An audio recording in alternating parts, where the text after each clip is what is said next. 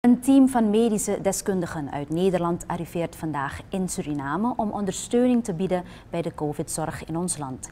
Het team komt op verzoek van de Vereniging van Medische Specialisten.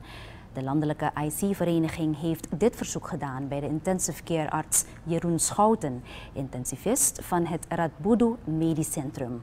Het Nederlandse ministerie van Volksgezondheid is ook betrokken bij deze actie.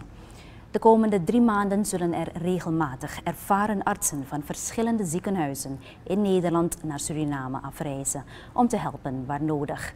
Daarnaast heeft Jurgen Rijman een inzamelingsactie op touw gezet om Suriname te helpen in deze crisis. Tijdens het televisieprogramma Nederland voor Suriname zal er geld opgehaald worden voor ons land. Met de opbrengsten van deze teleton zullen onder meer medisch apparatuur, mondkapjes en IC-bedden worden aangeschaft.